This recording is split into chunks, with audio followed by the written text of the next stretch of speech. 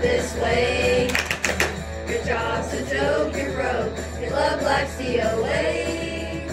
It's like you're always stuck in second gear.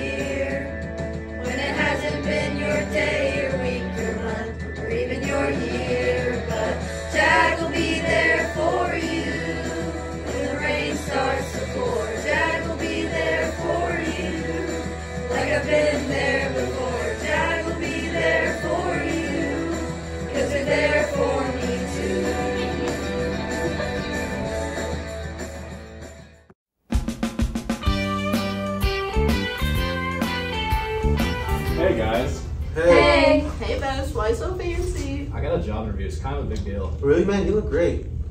Well, don't get your hopes up. Why not? The interview. What about it? Well, you know, you don't make a very good first impression. What do you mean? Well, when I first met you, you were all like, blah, blah, blah. Are you serious?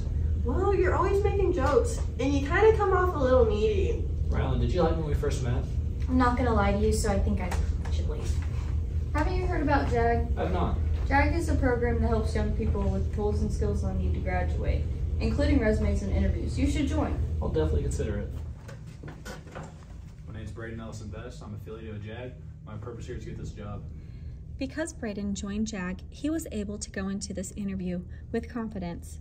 His resume was filled with social skills, employability skills, community service, team building, and critical thinking skills. We'll see you on Monday. Hey guys, I got the job. Woo! Oh, good job. I have to join Ken. Yeah! Oh,